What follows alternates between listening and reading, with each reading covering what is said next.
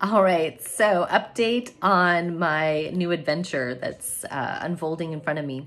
So uh, yesterday I said I want to experience more of Umpqua Hot Springs. And then I just happened to call the next location that I was supposed to be at today. My next location was going to be in California. And they said, well, you can come down, but we're in a um, fire evacuation emergency. She's like, we're still here, but the fire is like 10 miles from us. And um, I keep bumping the phone. So, so she's like, you can come down if you want. And I was like, mm, I really don't want to come down to a forest fire five miles or 10 miles from a hot springs.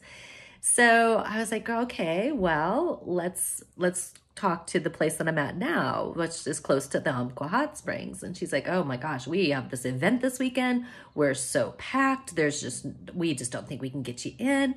She's like, you know what? Try at 7.30 tonight. 7.30 tonight. We sometimes save these rooms and, um, you know, like they're our emergency room or whatever.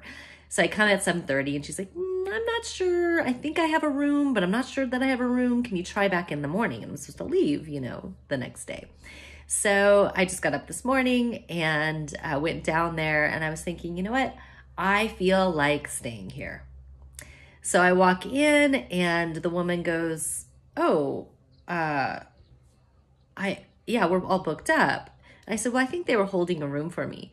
And so she looks around, she goes, oh yeah, yeah, we got a room for you. You know, so I'm staying here for two more nights instead of going to California.